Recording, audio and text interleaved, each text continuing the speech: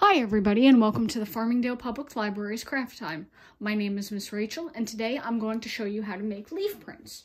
For this project you will need some cardstock or construction paper, some crayons, and some leaves. Preferably leaves that have a very defined stem in them and veins. This will work better with more defined leaves rather than say a pine needle, but you could try it with any type of leaf.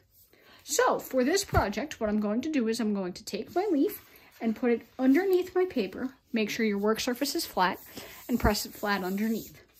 Then I'm going to take a crayon.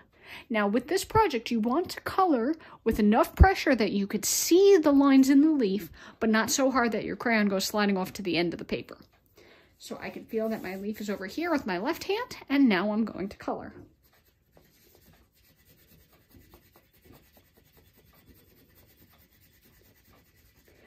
It's always better to work in layers for this project. You can always color over it again a second time.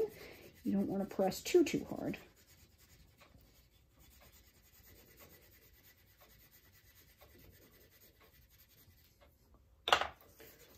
Okay, and there I have my first leaf. Let's try it again with a smaller leaf. This time I'll put this one in the middle, press it down nice and flat. How about an orange crayon?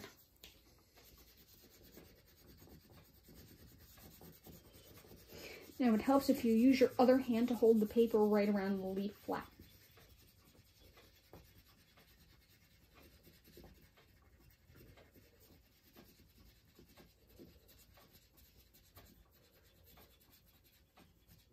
And there's the end of the leaf. Okay, and there we go. There's our second leaf. Let's try it one more time. I'm going to take this leaf, put it over here, Put it under my paper, nice and flat. And how about this nice red crayon? And here we go.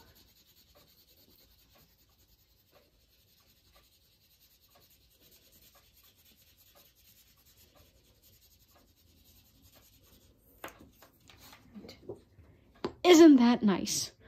Okay, well there you have it. Happy printing!